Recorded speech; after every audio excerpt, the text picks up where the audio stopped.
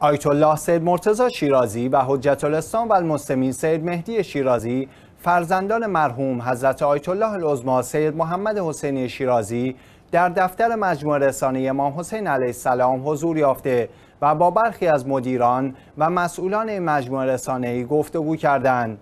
در این دیدار آیت الله سید مرتضی شیرازی دقایقی در مورد اهمیت رسانه در دنیای امروز بیانات ایراد فرمودند. ایشان همچنین در بخش دیگری از سخنان خود به موضوع تحمل سختی های موجود در مسیر کار و نیز خدمت رسانی به مردم از طریق پوشش دادن نیازهای مادی و معنوی آنها در رسانه مطالبی را بیان فرمودند.